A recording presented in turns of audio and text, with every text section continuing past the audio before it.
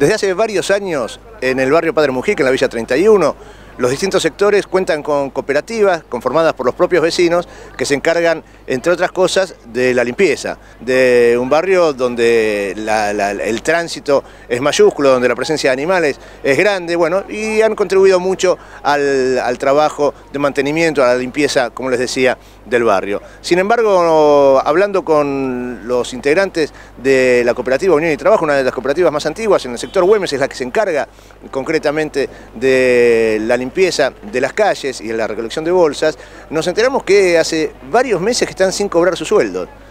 Son dos meses que estamos sin cobrar, junio, julio, ya estamos pisando agosto, van a ser tres meses y no hay tema del pago.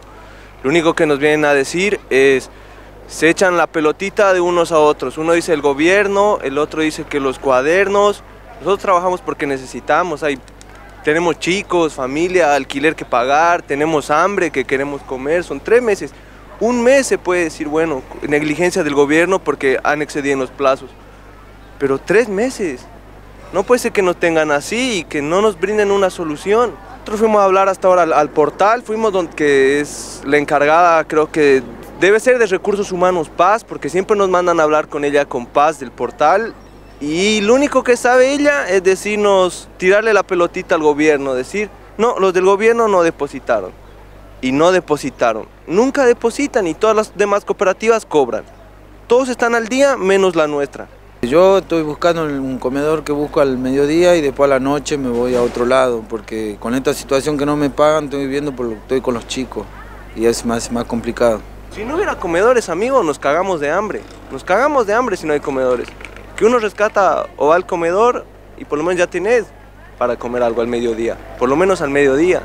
¿Cuánto garpan de alquiler, por ejemplo? Eh, yo ahora estaba pagando 3.000 y ahora estoy pagando 3.500 por la demora. Yo estaba pagando al 16 y ahora le doy 3.500 porque estoy pagando los 28, pero se me complica porque no te pagan, el 28 van sumando al 11 y se van aumentando los meses. ¿Y eso, esa guita que por una habitación, por una pieza? Sí. Sin, el baño, el baño ahí en el, pasillo. No, el baño es compartido. Y los dueños de casa lo que siempre te dicen es, el problema sos vos, porque detrás tuyo tenemos dos personas más que quieren alquilar tu pieza y las personas que te van a pagar puntual. Y, nos, y todo sale fuera de nuestras manos porque trabajamos, trabajamos, trabajamos, trabajamos, camellamos, camellamos y nunca nos llega el pago. Los alquileres están así y no te aguantan los dueños de casa. Y a nosotros le cobran 3.600 el alquiler y a veces no, a veces no nos queda ni para la comida, nada, a veces nos compartimos así con los compañeros, así nos ayudamos mutuamente. Debería haber venido con aumento, por lo que nos dicen, desde el mes de julio. Deberíamos, porque cobramos 6,800. Somos la única cooperativa, creo que cobramos 6,800. Todas ya tienen el aumento.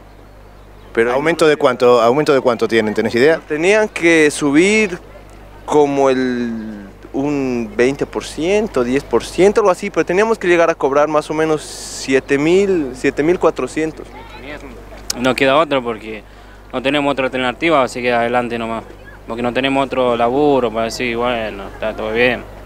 Pero bueno, la única cooperativa que sigue adelante es encima eh, hacemos hora extra y nadie los reconoce. Nosotros trabajamos para no hacer, para no eh, delinquir ni nada, ni nada de eso, tratamos de hacer las cosas bien.